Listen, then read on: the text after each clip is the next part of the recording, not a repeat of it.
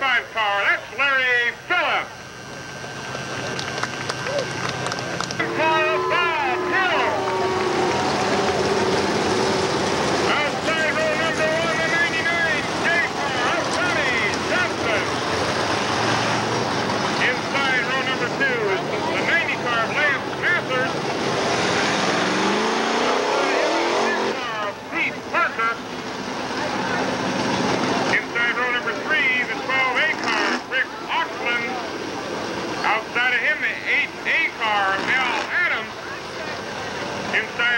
number four, the 95 car, Craig Jacobs. Outside in the 18 cars, Todd Stuber. And in the 33 car, in the back row, that's Dave.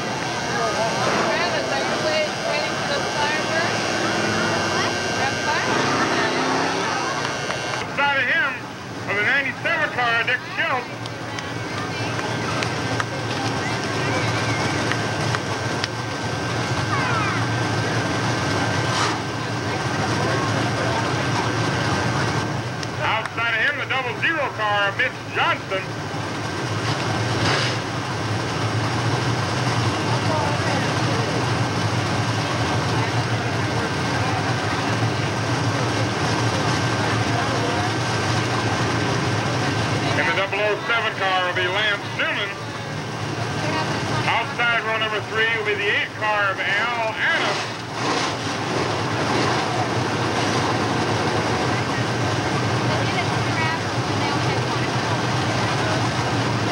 Number four, the 99S car, that'll be Charlie Sinner of Kurt Ivory. And the 701 car, Dave Brock. Outside of him, the 18 car, Todd Stuber. Eighth row inside, the 99D car, Daryl D. France. Outside of him in the 95 car, Jeff Bodendorfer. On the ninth row on the inside,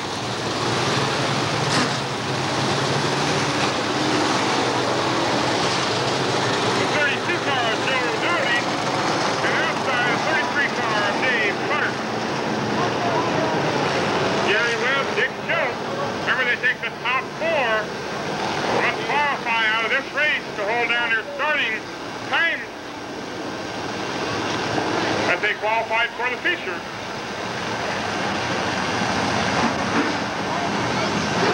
The corners three and four.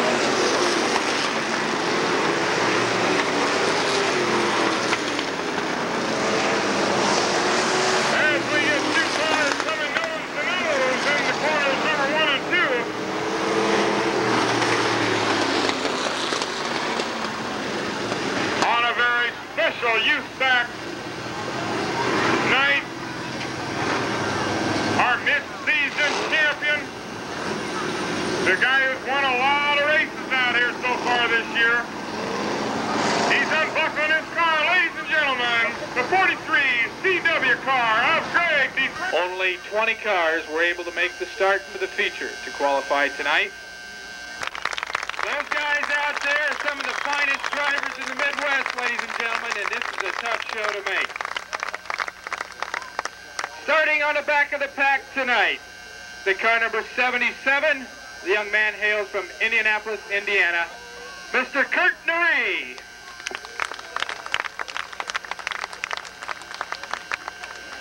Inside final row, the 21S car from Westmont, Illinois. 21-year-old driver driving a bullet chassis, Gibby Steinhaus.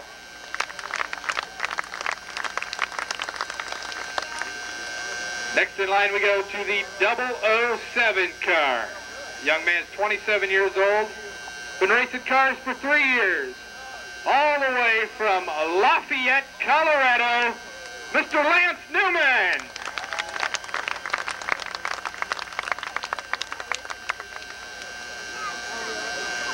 Next in line, another gentleman who made a very long haul to be with us here for the Firecracker Jamboree. 48 years of age, been racing cars for 20 years. From Gillette, Wyoming, the car number 44, Fred Lundock.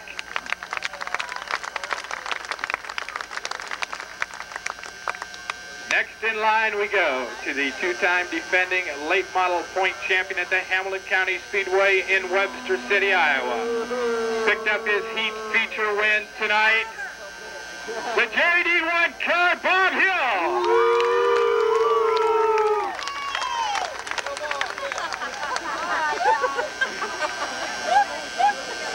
Car number 14.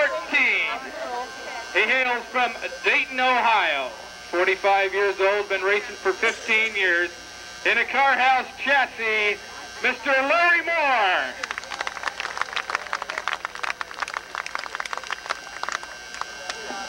Next in line we go to the 75G car, the race shop competition car owned by Rich Cummer. This young man is known as one of the finest short track drivers around. The River City Hustler, Mr. Ray Guss Jr.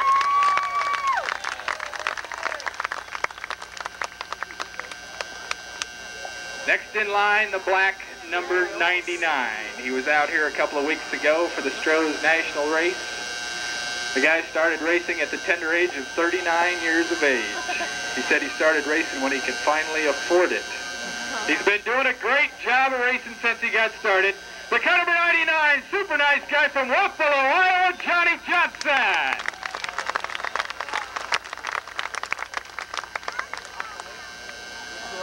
Next in line we go to Johnny's son, the J7 car. He's one of the most popular drivers down in southeast Iowa. Received a super warm welcome last night at 34 Raceway when he qualified for the feature. J7 car, Jay Johnson.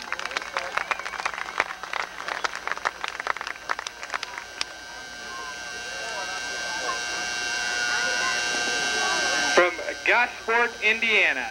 The car number 11, the driver is 24 years old, driving a Rayburn car, third year late model racing. How about a nice hand for Mike Gibbs?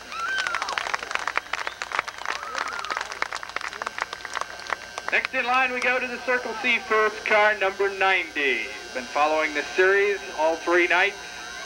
From Winona, Minnesota, Lance Matthews.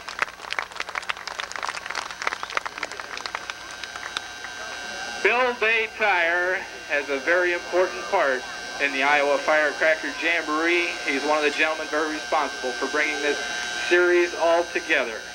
He sponsors this next young man's race car. This driver has won 40 feature wins over the past year, and he is one tough customer wherever he races. 28 years of age, been racing for 12 years. A brand new Larry Shaw chassis. The car number 85, Gary Wright.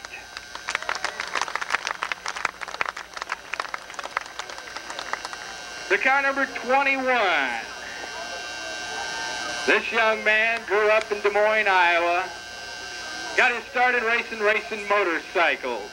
was a three-time champion of the state of Iowa in motorcycle racing. Moved into late model race cars, racing around central Iowa. He's 29 years old, been racing for eight years in a new Larry Shaw race car. From Batesville, Arkansas, the 1986 USAC late model champion, Billy Moyer Jr.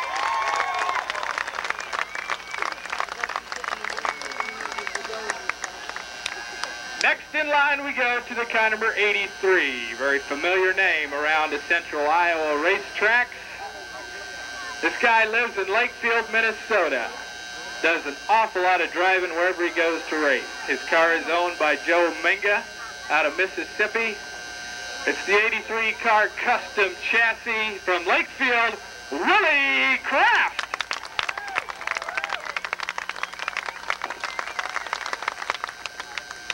In two nights of racing in the Iowa Firecracker Jamboree, this young man has finished second at Hawkeye Downs and first last night. He hails from Galena, Missouri. He's 41 years old, driving a new Shaw car, 16 years of racing. Keep your eye on this guy tonight. He's got this racetrack figured out. Mr. Ken Essary from Galena, Missouri. Next in line, we go to a young man who builds race cars for a living up in Fargo, North Dakota.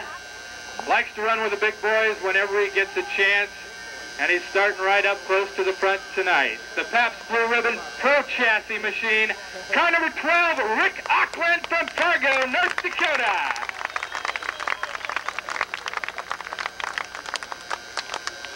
This next guy in line, the car number 56, races out of the Quad Cities. He pretty much owns East Moline Speedway whenever he races there. That's a tall quarter mile, and he's one of the fastest on the quarter mile racetracks. Two-time ump point champion, the car number 56, Gary Webb.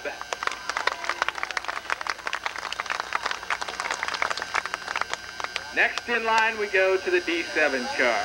If you get a chance after the races, go down in the pits and get this guy's autograph. All the way from Bruce, Mississippi, he's really a joy to talk to because he's got about the most southern accent you've ever heard in your life. From Bruce, Mississippi, Mr. Jerry Inman.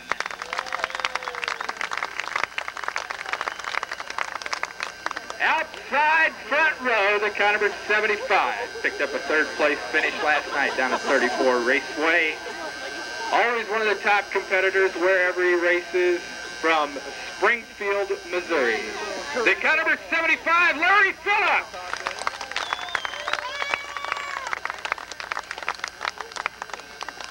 Starting on the pole tonight, the car number 10. He hails out of Green Bay, Wisconsin. Reliable Welding, his own business, builds race car trailers for a living. Does a fantastic job of driving up in the North Country. Mr. Pistol Pete Parker.